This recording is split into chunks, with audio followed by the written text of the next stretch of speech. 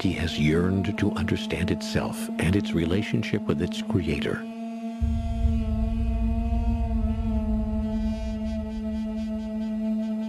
In the days of Moses, the Creator was known as the God of our forefathers, or the God of Abraham, but there was no real name for the divine creative presence.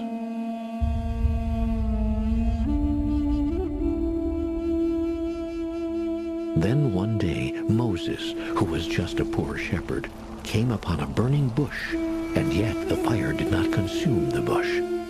A voice spoke to him, saying that he must go unto the Pharaoh Ramses and demand the release of the Israelite slaves. When Moses asked who he should say sent him, God said, I am that I am.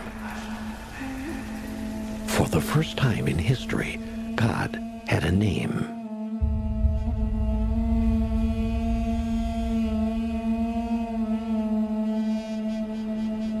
With the power of God's name, I am that I am, Moses produced some of the greatest miracles of the Bible.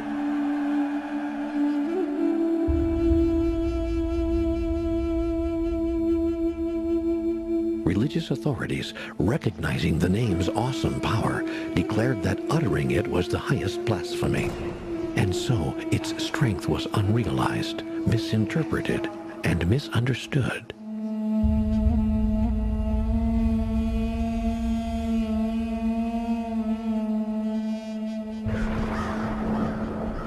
Never reached the promised land, nor did the code that could unlock the awesome power of God's name and set all of humanity free.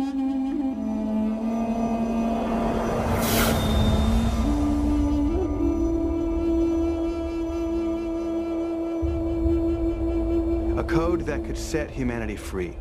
It may seem impossible, but Moses learned something from God that day that changed the world. In fact, we still talk about the miracles he produced. When God gave Moses the name, I am that I am, there was a simple code that went with it that unlocked the true power and meaning of the words. But then the name of God was banned, and uttering it was sometimes even punishable with death. And so the code was lost. A code is a system of letters, numbers, or symbols that communicates information when converted into normal language.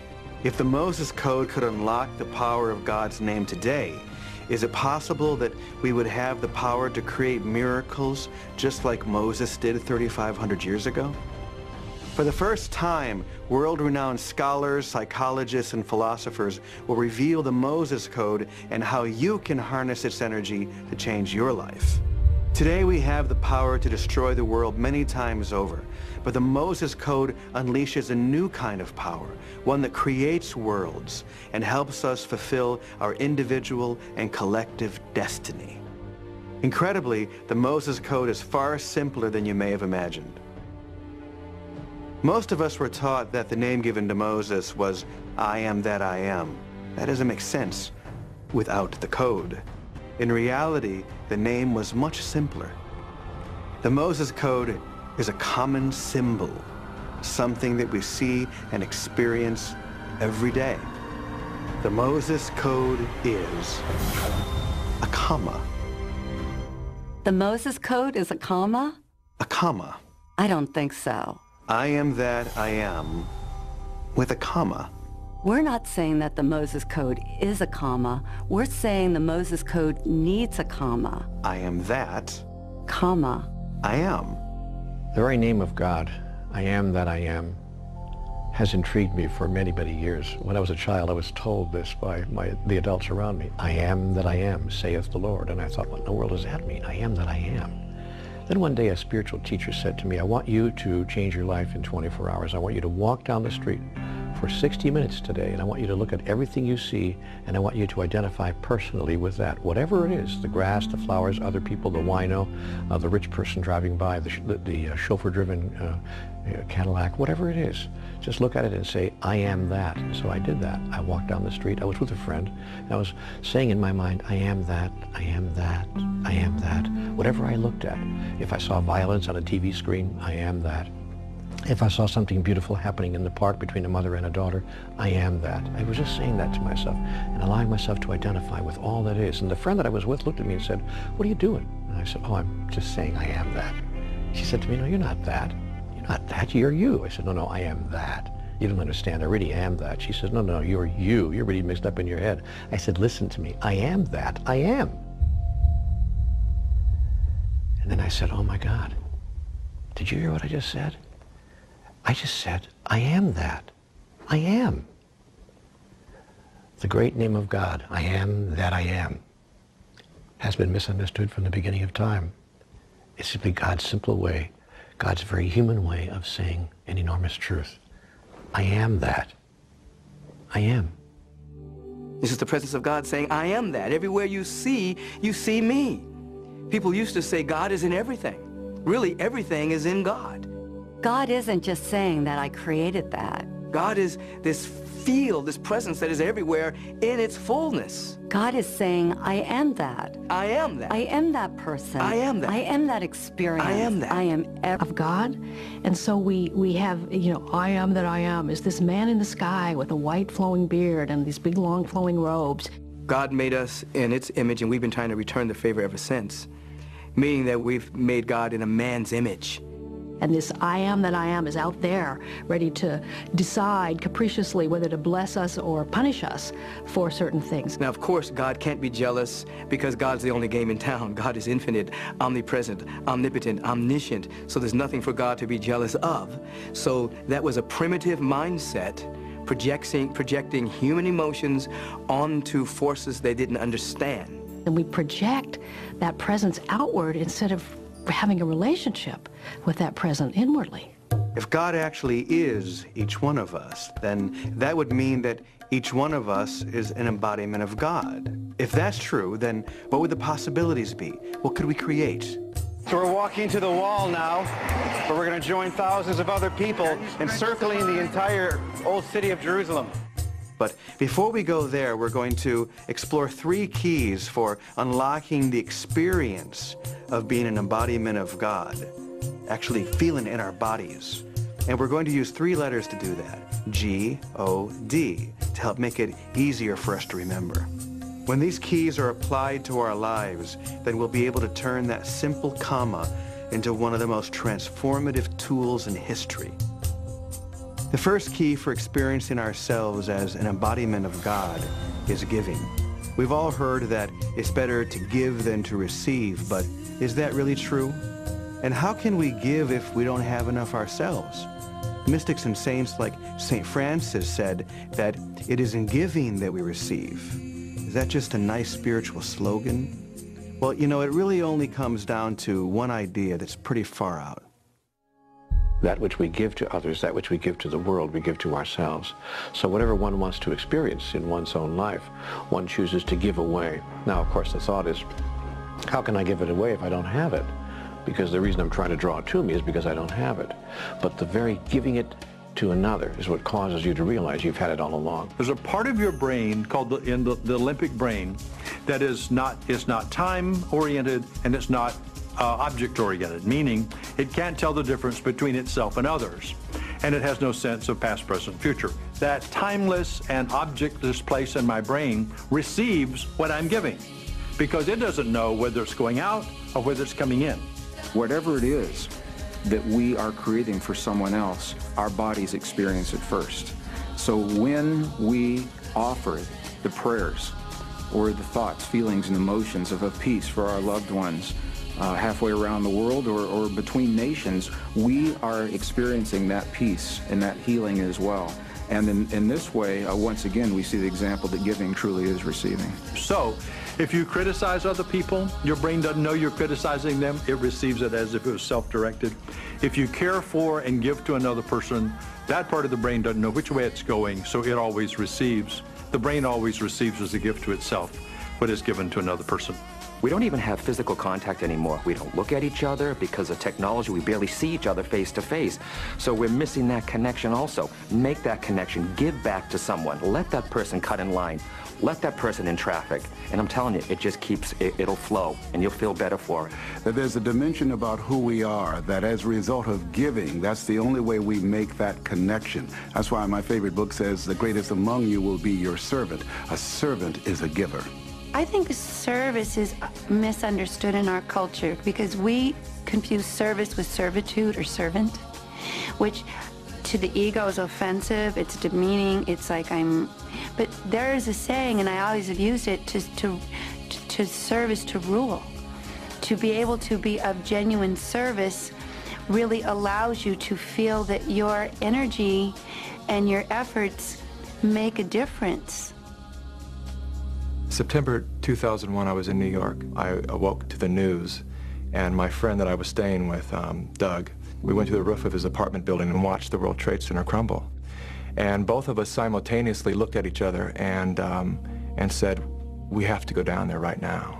We were literally running against the current of people that were rushing out of the scene. We were running into the scene. Doug works in the media, so he had uh, media badges that allowed us to get beyond barricades that were just being set up by local police there was still no support system for these firefighters and these rescue workers. So it became a real necessity that we find food and water really fast. So we um, actually, with, with the support of a couple of um, NYPD um, police officers, we started looting all the nearby delis and supermarkets. And we had turkey meats and we had the finest of New York delis meats and everything. After a while, it became clear that there was just one food that all the um, rescue workers wanted, and that was peanut butter and jelly sandwiches. And I later um, realized that it was because it was comfort food. And it was the first area where they actually did the first roll call. Fire chief stood up on top of one of the crushed fire trucks. There were probably 400 names that he called off, and at least half of them were not present. As the reality set in with all of the firefighters around that they were not present because they were not alive. They were in the building um, they started to literally crumble like dominoes all around us. They fell to their knees, they sat on curbs, and these big hardened men were just in tears. The earth movers came in to clear the way for all of the rescue vehicles, and Wall Street was lined with fine automobiles, so the only way to move them was to literally push them over with these earth movers. They just flipped the cars one at a time, all the way down the road, flipping cars out of the way. And, and I watched these, these material items go from being this beautiful car that I was drilling over to just being trash in seconds. We watched them. we just stood there, you know, like 12 guys going, oh my God, how can they do that? But then it became really clear to me that it's like, that was so irrelevant to the task of finding people alive that all of the material world was just garbage at that point. It didn't matter. I had suited up, you know, rescue workers um, uniform basically with the respirator and everything on. And this actually ended up becoming my pass to get into the ground zero where it was nothing but qualified rescue workers. And here I was just a civilian with really no qualification to be there. So the first victim that was um, found was this little man in a suit, and he had been completely crushed and disfigured under a um, fire truck. And I, I, and I stood there looking at him and imagining what his story must have been that he he likely hid under the thing that felt the most secure, like a fire truck. Do you know what I mean? He probably crawled under that fire truck as debris was falling, only to be crushed under that fire truck when that entire rig was crushed upon him. And so that was really the first sobering moment of, wow, okay, this is what we're here for and this is what we're going to witness. And am I up for it?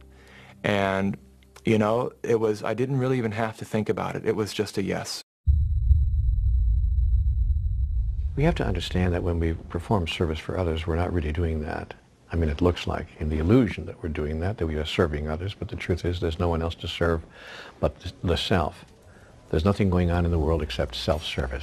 Is not strictly for getting in return. You know, there's not this intellectual thought of, okay, well, I'm going to give to you, you, and you, because if I do, then maybe I'll get something. Most of us operate in that mode already. Moses didn't do that. He just gave and received and served We want to give as God gives, without expectations, without wanting anything in return, just to connect with another person, to serve in the grandest way. Greatness is your capacity and your willingness to be of service. Service to what? Service to love, service to peace, service to beauty, service to God, service to joy. I think that when we do that, when we take our attention off all of our problems and all of our circumstances, and we put it on somebody else. It's the thought of doing that that allows us to lose track of ourselves and lose track of our problems, and that's an act of creation. Recently, I was inspired by my own son, Bo, who was having a bar mitzvah. And the rabbi explained to him that the mitzvah was really in the stretch, going beyond what he felt comfortable doing. What kind of challenges do you feel like uh, you faced and that you had to overcome to, uh, to do this great mitzvah? I'm giving away all my money, so that's always hard. What kind of project are you going to do? Uh, I'm raising money to build a school in a poor part of Uganda. He decided that he would build a school. An entire school? Yeah, a seven-room schoolhouse. And donate 100% of his money. So Moses did exactly the same thing you're doing, Bo. He left his comfort zone to do something good for people that desperately needed it. The village where Bo's project is going to be built is called Chikuiro. And the difference between a child going to school and not going to school is really the difference between life and death for many children. It says, Bo, I've decided to put my money towards the school. We've received money from over 500 people. That's great. How old is she? She's only 12. That's weird. No, I think that's beautiful. I know. That's awesome. They were just ecstatic, and they really got that this was a child helping children. How does it feel to be a philanthropist? Uh, what's a philanthropist? this has been a tremendous opportunity, not just for the children of Chikuiro, but for also for kids in the U.S. to get the idea that there's more that they can do. There are some people that don't have the capacity to receive the good that wants to come into their life, and they end up becoming martyrs. They end up burning themselves out because they give, but they never replenish themselves through being available to the presence, expressing through them through receptivity. The couples who proceed slowly in therapy, the couples who seem to never get there, and no matter what happens in the relationship, they just don't, quote, really improve, have what we call a defense against receiving. They have no receptors for letting stuff in. Not only letting love in, but letting compliments in, letting uh, positive statements in, letting appreciation in. To surrender yourself enough to be able to receive first from God, the Holy Spirit, and then from those around you, I think is one of the most sacred acts that we perform. The, the complete whole state is, a, is an individual that gives with ease and with grace. They are here to give, to share their gifts, their time, uh, their talents, their capacities, while at the same time they're in tune with the fundamental order of existence, their real being, and they're receptive to this flow through them. They can receive love. They can receive intuitive hits. They can receive wisdom and guidance. They can receive the, the beauty that is everywhere. So there's a complete cycle, and ultimately giving and receiving are one. Most of us have heard prophets and sages and enlightened beings say that we're all one. But we look out at the world and we see separation everywhere, so how can that be true? Does that mean that I'm one with Jack the Ripper as well as Mother Teresa? Does that mean that I'm one with you? Are these just airy-fairy ideas? Or could this be the next step in all of us realizing that we're actually an embodiment of God? The fundamental principle that you find encoded in all major religions, all authentic spiritual paths, is this spiritual idea called oneness. That we are at one with life, we're at one with the presence of God, we're at one with each other. We find that in all the traditions. Hear, O Israel, the Lord our God is one. One presence, one power. The Atman, the Buddha nature, you know, the, the Christed one. It's in quantum physics. Rupert Sheldrake, the unified field, one presence everywhere. This oftentimes doesn't seem to square with physical evidence. primarily because the average individual sees the world through the filter of a sense of separation. They see the world through their senses. And if you're more in the ego, then you're going to sense survival fear, this angst that you've got to get yours, that it's all about getting, getting, getting, getting. Through spiritual practices, you go beyond the sensory realm and you enter into a field where you see, not with eyesight, but with insight, that everything is connected. The scientists, the quantum scientists would call it a unified field that is everywhere in its fullness, that is undivided. That's what being awake means, is to say, well, I'm dancing in this illusion of separateness, but I'm not separate. For once an individual is broken through, then all the things on the surface that seem separate begin to work together for our good because we're now in tune with everything on the invisible level.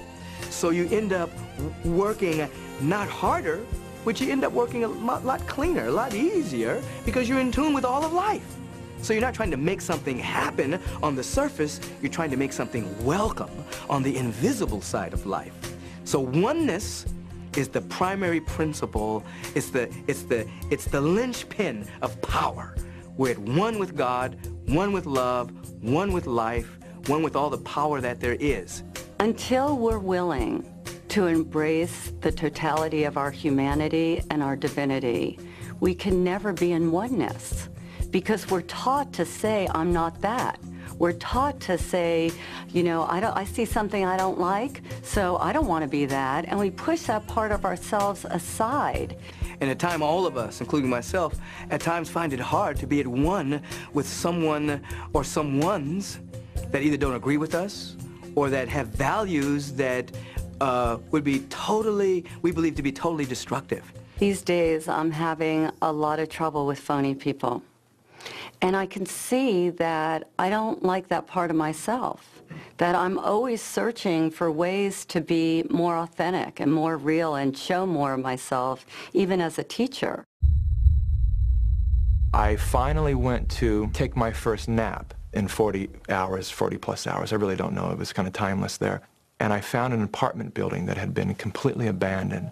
And so I went into the lobby of this apartment building and um, and I found a couch and I dusted it off and I laid down on the couch with my face against the back of the couch and I, and I cuddled up and I bundled up and and probably about a half hour into um, my sleepless nap, um, I could feel the little man, the first victim that we found, the little man in the suit. I could feel him kneeling behind me, and I could see it vividly. He was kneeling behind me, his disfigured face staring at the back of my head. I could feel his breath on the back of my neck. And I was pretty, pretty terrified. And I just lay, laid there for, I don't know how long it was, five or 10 minutes just thinking, what is he doing? And I was still and quiet long enough for that voice, that, you know, that voice, whatever you want to call it, my internal voice, that said to me very loud and clearly, this could be your Vietnam or dot, dot, dot. And it just left me kind of hanging like that. I didn't know what the dot, dot, dot was, but I knew what the this could be your Vietnam meant. Having grown up, seeing all of the ex-vets with all of their um, drama that they've brought back from the war and their flashbacks, having just had my first ground zero flashback, I knew that this could be something that could stay with me that way for the rest of my life, and it could probably trouble my future or. And I knew that the answer to the or was back out on the rebel. So I got up and I suited up again and I put my mask on and I, and I walked around the building and as I rounded the corner, they had put up a new work light and it was this very bright, brilliant light. And everything just seemed so bright and so brilliant that I was like just struck. And I, I just looked around at all these people and everything, everything just instantly appeared different to me. And I stood there with tears in my eyes. It felt like I was just, it, the world was in slow motion. I was watching people go by, and all I could see was just spirits crossing and spirits working and chain gangs of spirits. And it was so clear to me that everything was interconnected and it was all one big body of God. Everybody had dropped their egos, they had dropped their identities, they had dropped their rank, and they were working together for the greater good of all.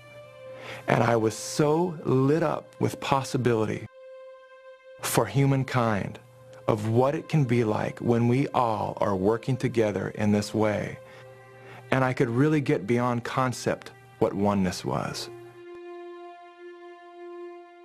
Knowing that the entire world was experiencing what it was experiencing, all the separation and fear and chaos that was going on in the world, here I was standing there experiencing the greatest bliss and beauty of my life. And I just, I remember just wishing that the world could see this situation through my eyes. When I first decided to be on this spiritual journey, I was really looking to become a better me. And my sister always told me that I was angry and I was selfish and self-absorbed and these whole, whole list of characteristics that I didn't want to be. So I started working on becoming this nice person. And I learned how to talk in a nice voice. And I learned how to give things away that I had if you wanted them. I did all these things. And then I went to a seminar one day and I'm standing there and everybody's looking at me. In the middle of the seminar, this woman shouts out, you're a bitch. And I thought, well, I know that. How does she know? And she said to me, let me ask you something, Debbie. If you were remodeling a house and you were six weeks late and $20,000 over budget, do you think it might help to be a little bitchy? And all of a sudden, a light went on because I thought if I just got rid of all my bad qualities, and believe me, I have plenty, that somehow that would make me a good person. The piece I was missing is that every dark quality of mine came bearing gifts. And you can go down the list, things that we see that are very negative, oftentimes have the effect of taking us to the next stage of our evolution. You take somebody like a George Bush, he was an evolutionary trigger. He's, he's galvanized the peace movement, parts of the peace movement that had never spoken to each other in many years, since the 60s. He comes along with a war ethic and a preemptive strike war ethic. Peace movement starts talking. So he actually was a, a, a, a, as a very positive force for the evolution of many positive things on the planet. See, if I want to grow and evolve spiritually, I have to take my projection off of them and own and embrace that part of myself. We have to be lovers of humanity. We have to be lovers of ourself and even seek to love that which our ego or our mental perception would say, you know what, I can't love that. I'm a phony bitch. Now the question is, how am I going to love myself being a phony bitch? Go within and embrace it anyway. And even as I say this, they're probably going to bleep me out because nobody can bear that they might be a phony bitch. So then they've got to shut me down and we all have to pretend like we're not that. People get confused in this conversation because they'll say, well, I'm not a murderer or I'm not a rapist. But I would say, find out what kind of person would be a murderer what kind of person would be a rapist? Those are the questions that we must ask ourselves because maybe a rapist would be somebody who's wounded or sick. We all have a wounded part of ourselves. We all have a sick part of ourselves. We all have a twisted part of ourselves. And even though we'd like to fit into the ego's ideal of being a perfect human being, we're not. We're all that there is. And when we can open our hearts and have compassion for the part of us that might murder. We have no idea that if we're capable of that, especially if we're living and watching this film. But maybe, maybe in the right or wrong circumstances, we are all capable of anything. The most beautiful, glorious act of greatness and what we would consider one of the most horrible crimes against humanity. And when we embrace all of ourselves, knowing that we're both human and that we are divine, well, voila, all of a sudden you have a whole human being, and what you feel is oneness. I was married to a woman who was in so many ways the embodiment of all the things we're talking about. Linda has always been such an inspiration for me, and I know for so many other people, because of her kindness and her beauty. When my daughter and I were in Minnesota with family, we woke up the next morning to hear that uh, two men had broken into her apartment and had killed her. the anger and the grief and the, the profound sadness for me was overwhelming. My daughter and I and a couple of others, we were talking and crying. It was very late at night and my cell phone was beeping because the battery was, was wearing down. And so I, I just hit the button to turn the power off, but for the first time it didn't go off. Something very different happened. And the one and only picture that I had of Linda on my phone flashed full screen and froze there, and, and we felt her so profoundly connected with us. And it was in that moment that I felt this profound shift within me, even toward these men who had killed her. For me, the powerful emotion that I felt over and over again was was this connection, this compassion for people who must have gone through something truly terrible to have committed such a terrible crime against a woman who was so beloved and so cared for by everyone that knew her. And there was a song that I wrote and performed at her funeral, and it was a way of both healing my heart, but also imagining what Linda would say from the other side of the veil if she could reach back and speak to us about oneness.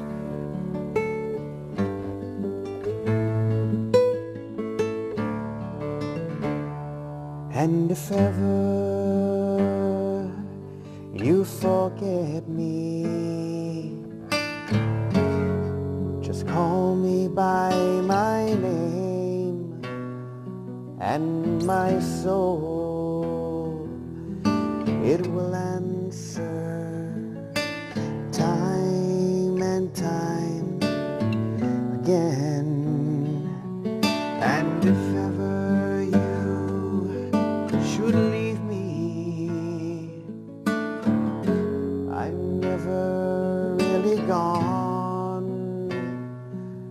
Can find me deep within you in the one.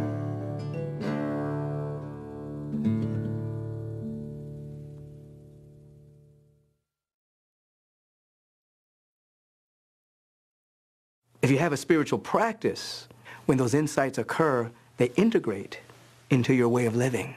They don't wipe you out, nor do they just fade into the recesses of memory as to a wonderful moment you once had. Integrates into you. And that sense of oneness and unity becomes more real than anything.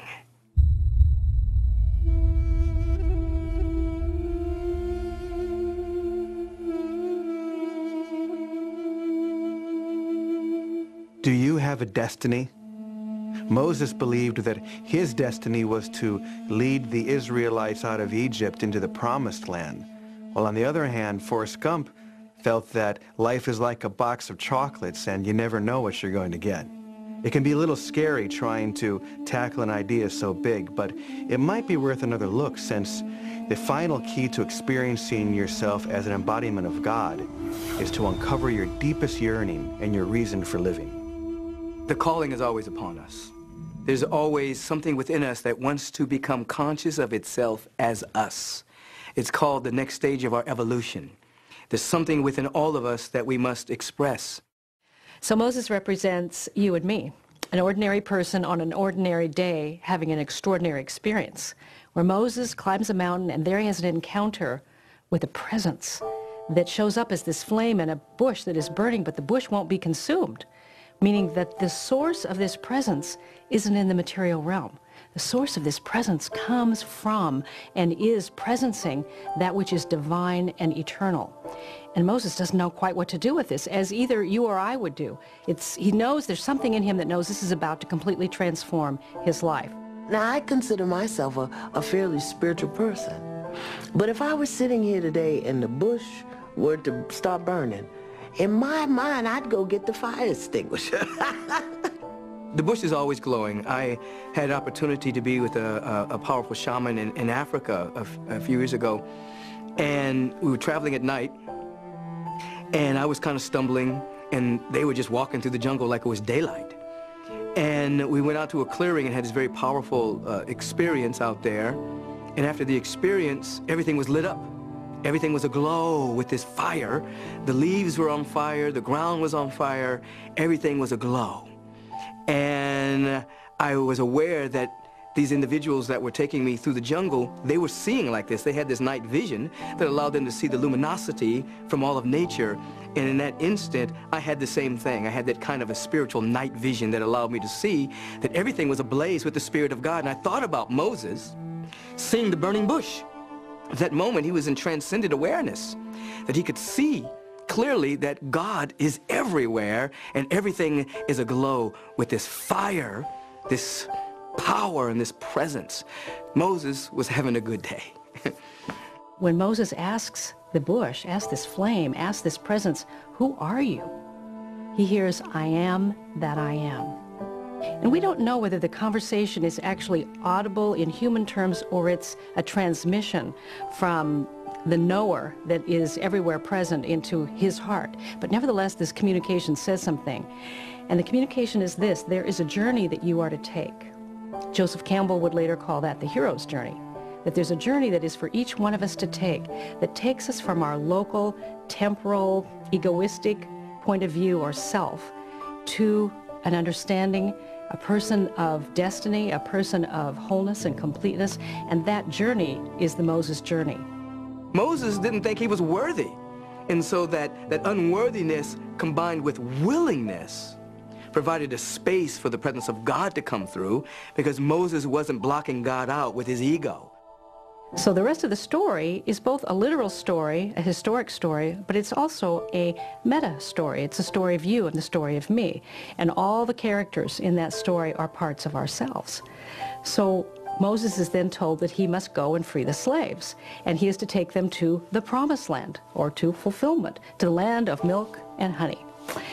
And he questions, I can't do this. I mean, he stutters, he can't speak well. He's like, who am I to do this? And you and I feel the same way. When a dream, an idea, a, a calling, something calls to us about make a difference, give something, do something in your local community, do something for the world, do something for your family, do something. And right away we feel like, oh, I'm not up to it. I don't have what is required. I'm not enough for that. I think everyone has to come to grips with the fact that if there's a, there's, there's a destiny within all of us, there's something calling all of us, and we are presently not the person that can deliver that destiny. We grow into it as we say yes to it. There's an old statement that God does not uh, call the qualified, God qualifies the called. So that when we answer that call, then the presence qualifies you. It qualified me. I didn't have all of the skills. I didn't have the resources. I didn't have the money. I didn't have the space. Didn't have anything. But God qualified me through my yes. So people showed up, resources showed up, buildings showed up, uh, individuals who could catch the vision that I was articulating showed up. And then I changed. I grew.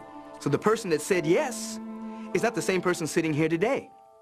The person that's sitting here today saying yes to the next stage of the vision will not be the person that inherits and articulates and manifests that aspect of the vision.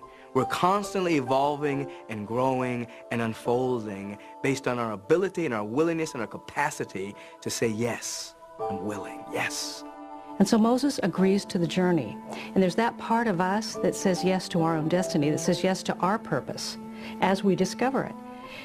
And then, of course, comes having to encounter Pharaoh not only the historic Pharaoh, but the, the personal Pharaoh. The, the personal Pharaoh is our intellect.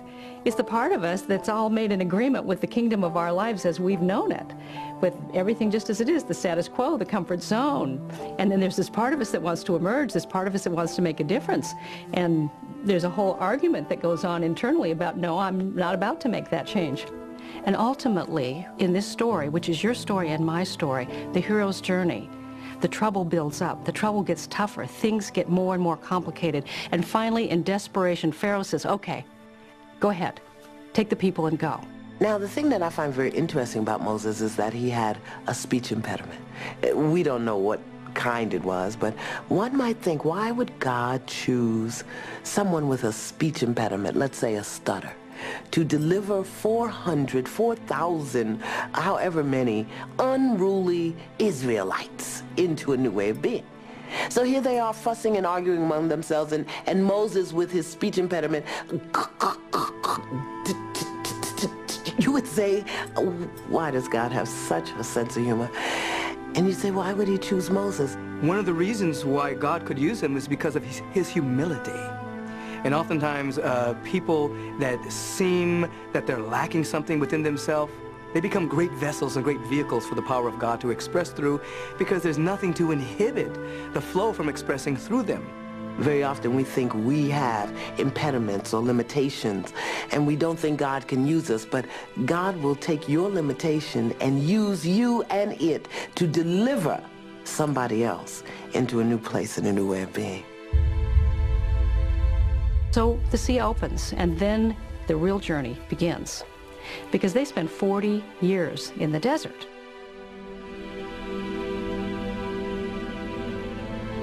which is in the Bible and in many of the mystical traditions. 40 is symbolic of simply this, the amount of time required for transformation. Noah has 40 days in the flood. Jesus has 40 days on the Mount of Temptation. Moses has 40 years in the desert. It's the amount of time required for the transformation. And for some of us, this is our 40th moment right now. Watching this right now, we know that this is the moment when the life we've lived is not sufficient to the purpose that we're being called for. I think it's useful for us to understand why the soul came to the body.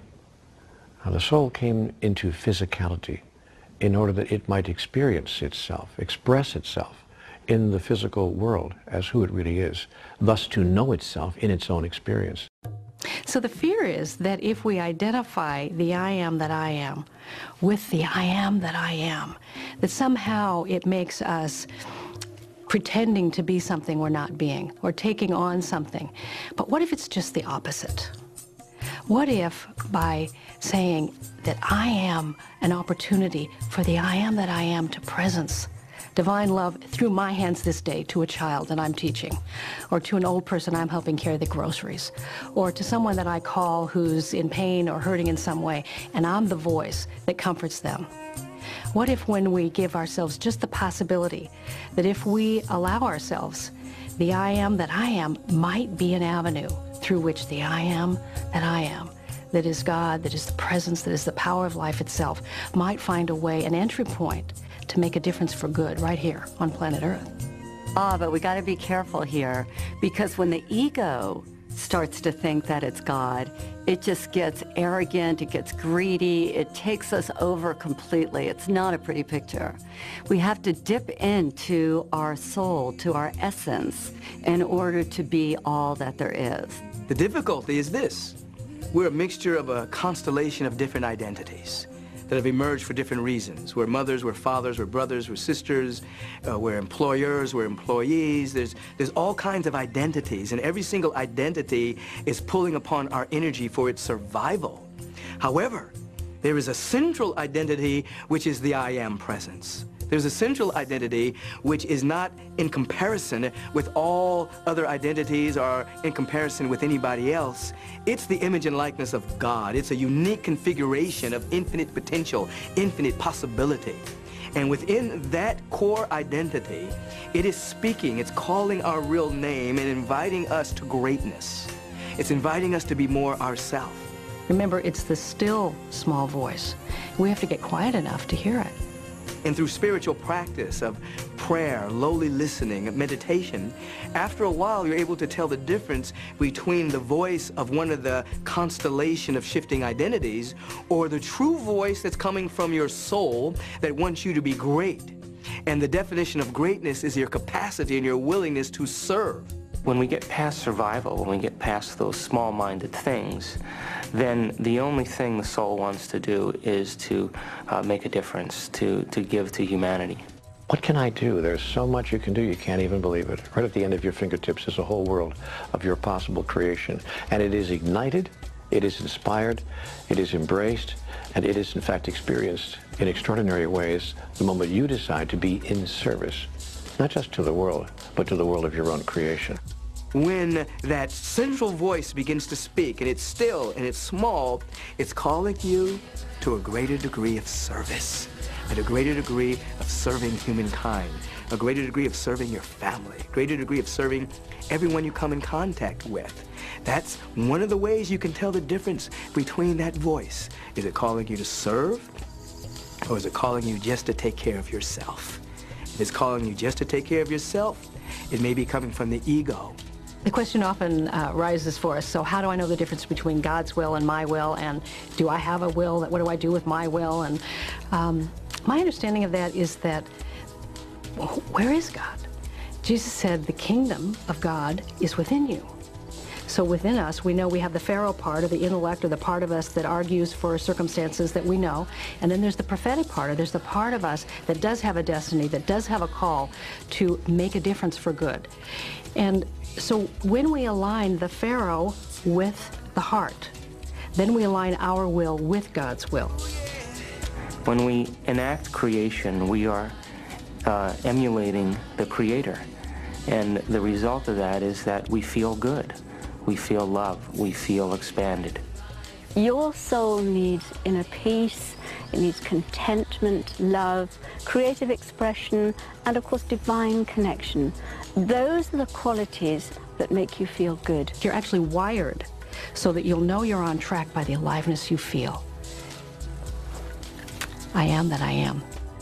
And it's in your being, your embracing of the presence and standing in that that you give the greatest gift that you can to the world. And so the understanding about that and the living from that is the journey. Course in Miracles calls it the 18-inch journey from the head to the heart.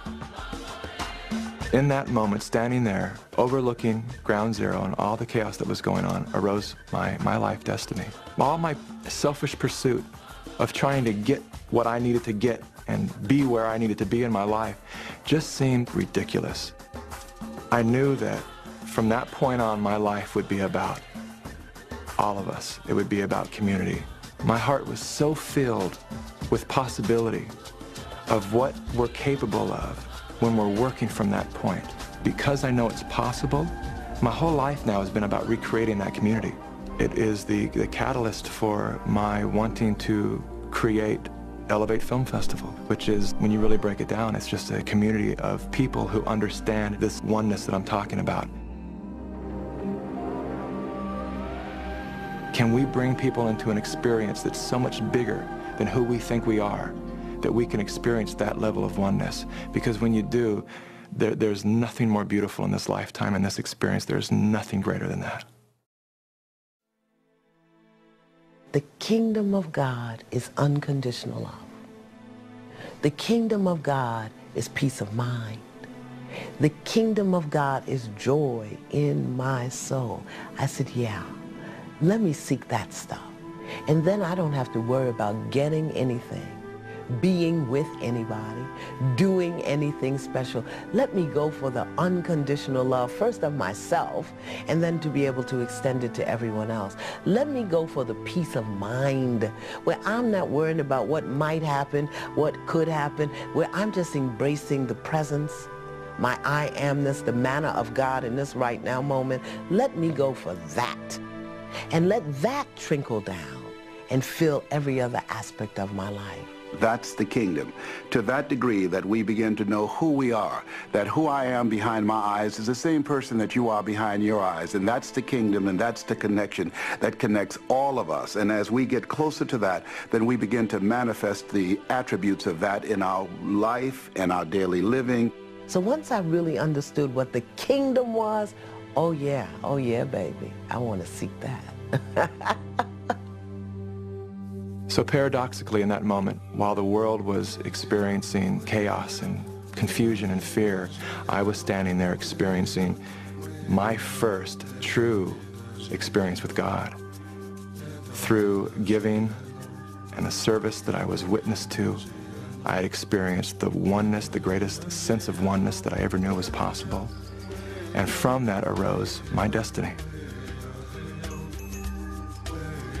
Now that we understand the three keys for experiencing ourselves as an embodiment of God, now is time for us to consider what we can create from that new experience. If saying and being, I am that I am, really can unlock the power of God within us, the next question is, well, how extensive is that power? Can we move mountains and create miracles like Jesus and Moses? Are these just fantastical ideas, or can they really change the world? I is the creative factor of the universe, and when you add am to it, what you get is the movement of the creative force of the universe. So every time you say I am, you are creating, you are creating movement. Think of it this way. We say, I am broke. Yes, and that's how you stay. I am lonely. Yes, and that's how you stay. But if we were to begin to use the creative force and energy of that name, I, and the movement of am, to say, I am whole, I am holy, I am complete, I am beautiful, I am gorgeous, I am wealthy, I am, we begin energy moving in our life and we re-educate our souls. That's all Moses had to do, was to bring that oneness, that creative energy of God and put an action to it. And Pharaoh had no choice but to back down. He recognized what he was dealing with. He was able to take the I am presence and lift up an entire nation to see who and what they really were and whose they really were. There's actually a way to activate this creative energy through a process that we can practice every day. And the great thing about this process is that it applies to almost every area of our life. And you can remember it with five simple words. And guess what the words are? The only thing that changes is what you focus on when you say those words. The first step is to imagine what you want to be, do, or have, and really make sure that it's something that matters. And the second step is to repeat the words, I am that, I am, and allow yourself to expand into that new possibility. So if we want to have a new way of being, we must say it and repeat it time and time and time again. When we repeat things, we encode them in our consciousness. The third step is pretty easy. In fact, you're already doing it. It's to breathe. Controlled breathing centers you, energizes you, and actually amplifies the effect. One way to practice this is to say, I am that on the out-breath, and then as you breathe in, either think or say the words, I am, like this. I am that. I am. I am that. I am. This simple process takes whatever you're feeling and imagining and projects it out into the world so that you can experience it in your real life. One of the ways I like to support people in doing this is by thinking about the qualities that inspire you, the qualities that you desire. See somebody, maybe you know them or maybe you've read about them, in your awareness. Bring that image of them very close to you and then just close your eyes and start repeating, I am that I am.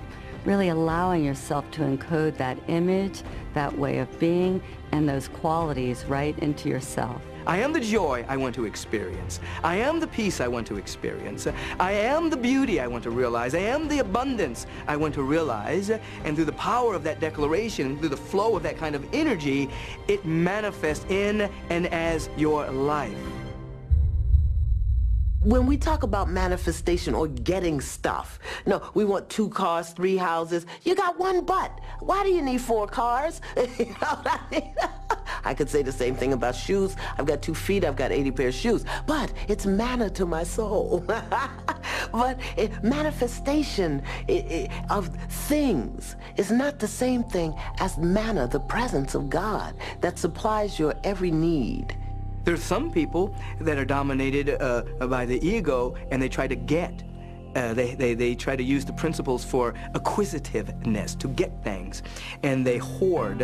And inside, they're very poor people. They may have a lot of stuff, but they're just poor people with a lot of stuff. Advanced students understand that it works exactly the opposite, not to try to magnetize something to us, but to try to bring something through us. Many people say, I just don't know who I am. They don't know their soul. They don't know their soul. And it's great. People think they can reach out, get the cars, the jobs, the best relationships, the money. People all, people get that and more power to them, but they'll st they still say to themselves, I still feel empty. What's missing? You forgot about the soul. And that's really what we want. We want the grace and the majesty and, and the presence of God to so fill us until it's unspeakable. Because if we can speak it and call it something, we'll try to fix it and change it. So we just want to be. And in that beingness, we have the manna, which is the manifestation of the presence of God. Hallelujah, hallelujah, hallelujah. And it's not about a car or a house. It's about the presence of God.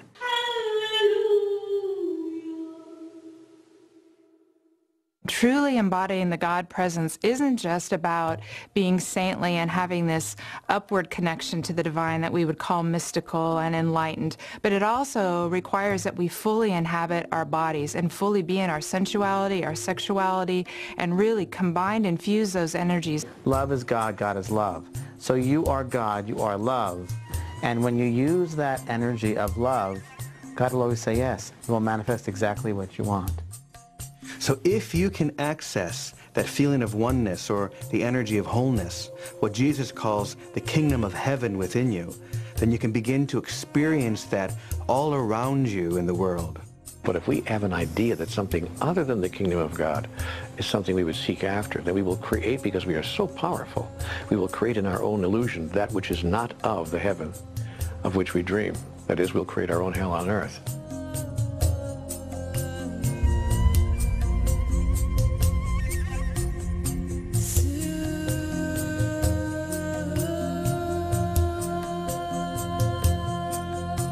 Moses and the Code never made it to the Holy Land, and since then Israel has been in constant conflict.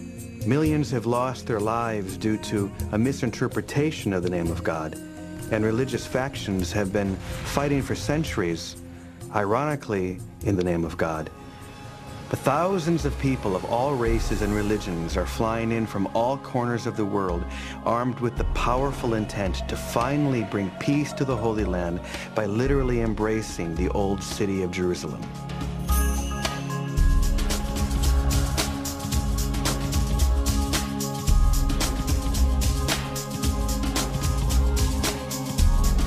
At the time of the hug and before, it is important for us to keep our pure intention and relax. So we're walking to the wall now, but we're going to join thousands of other people encircling the entire old city of Jerusalem. Can you stretch the line?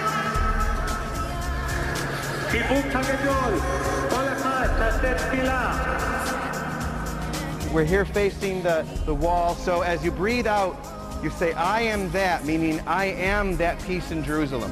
Feel the peace radiating from this city.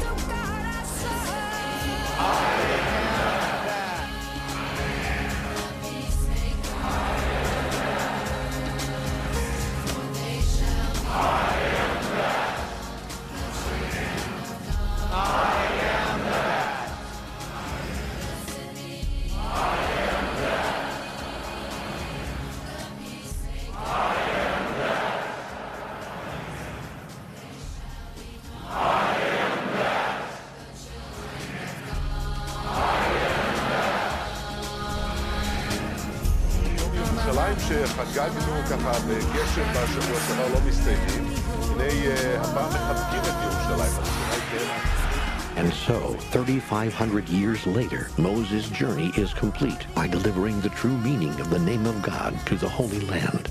It began with a conversation, but continues today through each one of us. The door has been unlocked. Now it's up to us to step into a new world.